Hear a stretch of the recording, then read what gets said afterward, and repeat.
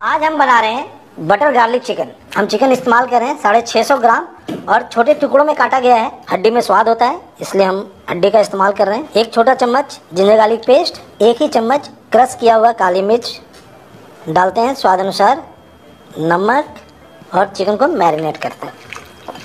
Marinate करने से chicken peppercorn नमक और जिंजर गार्लिक को अच्छे से एब्जॉर्ब कर लेगा और इसे हम छोड़ेंगे आधे घंटे के लिए। आज की हमारी इस डिश के लिए हमें बनाना है चिकन स्टॉक सो मैं एक पॉट में ले रहा हूँ पानी, डेढ़ लीटर पानी, और हम डाल रहे हैं कुछ चिकन बोन्स आपके पास जिस तरह का भी पीस है, आप ले लें। स्टॉक में उबाल आ गया है और साइडों में झाग आएगा, जिसे हमें बाहर निकाल लेना है। अब हमें डालना है दो तेज़पत्ते तीन लहसुन की फलियाँ लिए उसको कूट कर डाल रहे हैं। एक अदरक का टुकड़ा, एक हरी मिर्च और एक मीडियम साइज़ प्याज। साथ में मिलाएँगे कुछ काली मिर्च के दाने और स्टॉक को बनने देते हैं। आधे घंटे का समय हो गया है और चिकन अच्छे से मैरिनेट हो गया है।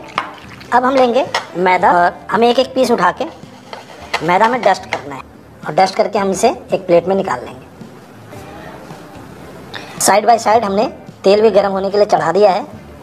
तब तक हम सारे चिकन को डस्ट कर लेते हैं। हमने अपने सारे चिकन को कोट कर लिया है मैदा से। अब हम इसे डीप फ्राइड करेंगे। ध्यान रखिएगा, तेल बहुत ज़्यादा गर्म नहीं होना चाहिए और ठंडा भी नहीं। सो एक बार में हम उतना ही फ्राई करेंगे, जितना हम कर सकते हैं। अब डालते ही हमें हिलाना नहीं है, थोड़ा वेट करेंगे। सो मैं चिकन को दो बैचेज में फ्राई कर रहा हूँ। चिकन में कलर आने तक हमें इसे फ्राई करना है। हम इसे सौते भी कर सकते हैं पैन में। ये देखिए, चिकन में जब कलर आए और कितना अच्छा सुनहरा दिख रहा है, तब हम निकाल देंगे।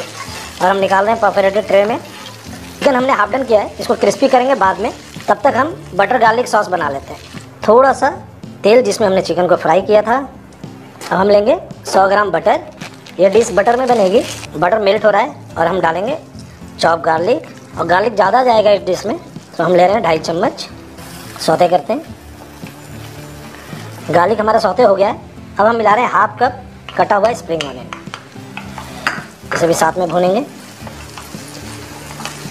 यहाँ पे हम डालेंगे क्रस पेपर कॉर्न और मैं डाल रहा हूँ, डेढ़ छोटे चम्मच चला लेते हैं। मैदा, ये हाफ़ चम्मच है।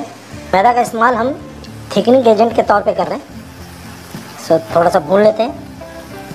अब हम डाल रहे हैं स्टॉक जो हमने अभी बनाया। और स्टॉक को छान लेना है, उसके बाद डालना है। चला लेते हैं। ये देखिए हमारा सॉस ठीक हो गया। सो हम पाँच लेटर हमने स्टॉक का इस्तेमाल किया है, पकने देते हैं। और इसी बीच में चिकन को फुल डन कर लेते गर्म हो गया, हम चिकन को फुल डन कर लेंगे। चिकन को सौते करके भी डाला जा सकता है और इस तरह से क्रिस्पी फ्राई करके भी। इससे स्वाद अच्छा आएगा। चिकन फुल डन हो गया है। हम निकाल लेते हैं बाहर। अब चिकन को मिलाते हैं सॉस में। अब हम डाल रहे हैं ऑरेगेनो सीजनिंग फ्रेश ऑरेगेनो हो तो आप डाल सकते हैं, या फिर आप सीजनिंग का इस्तेमाल कर लें।